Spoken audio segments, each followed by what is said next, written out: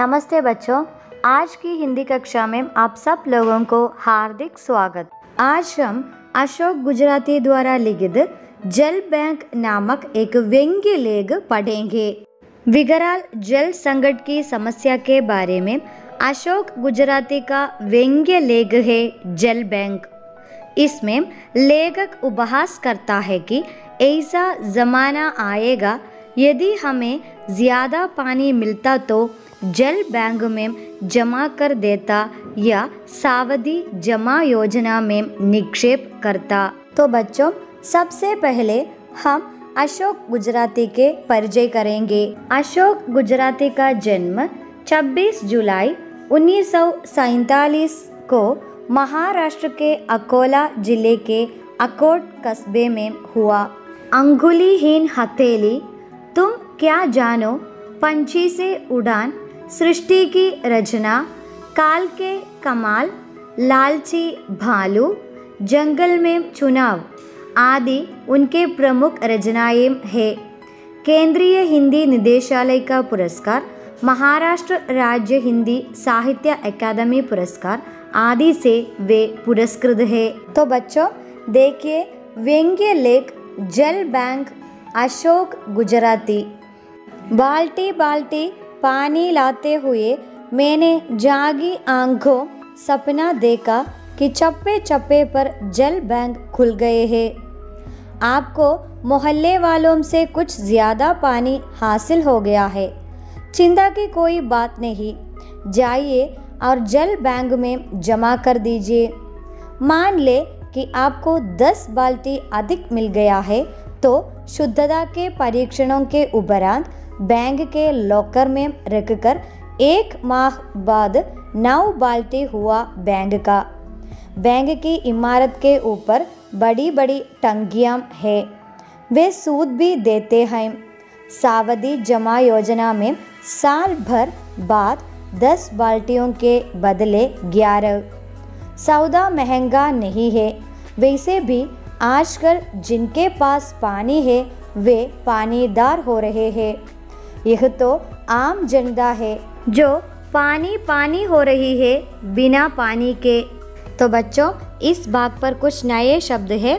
देखिए, हासिल होना टू अर्न शुद्धता प्योरिटी टंकी वाटर टैंक सूद इंटरेस्ट सावधि जमा योजना फिक्स्ड डिपॉजिट सौदा, व्यापार। पानीदार रेस्पेक्टेबल प्रस्तुत पाठभाग द्वारा लेखक उपहास करता है कि ऐसा ज़माना आएगा, यदि हमें ज़्यादा पानी मिलता तो जल बैंक में जमा कर देता या सावधि जमा योजना में निक्षेप करता। जल दुर्लभता आज की विकट समस्या है। ऐसी स्थिति में जल बैंक की संकल्पना उचित है। यहाँ लेखक ने सपना देखा कि चप्पे चप्पे पर जल बैंक खुल गए हैं। बैंक की इमारत के ऊपर बड़ी बड़ी टंगियाँ है। बैंक सूद भी देते हैं। दस बाल्टी पानी बैंक में जमा करने पर सावधि जमा योजना में साल भर बाद 11 बाल्टी मिलेगी। लेखक कहते हैं कि वैसे भी आजकल जिनके पास पानी है, वे पानीदार हो रहे हैं। आम जनता है जो पानी पानी हो रही है बिना पानी के। तो बच्चों, लेखक यहाँ हमसे कहते हैं कि अगर आपके पास ज़्यादा पानी है तो आपको जल बैंक में निक्षेप कर सकता है। अगर आपके पास पानी नहीं है तो सूद भी बैंक देती है। So students jal bank is a sarcasm return by Ashok Gujarati this chapter describes the problem of water scarcity faced by the future generation. The chapter begins like this. While the author was coming with a bucket of water, he saw that water banks have started in the nooks and corners of that area. Now, there is no need to worry if you get more water from the neighbors because you have the option to deposit that extra water in the water banks. Suppose you get 10 buckets of water. You can keep it safely in the bank lockers after ensuring its purity. There are lots of water tanks in the top of these buildings. Banks will give water also for interest.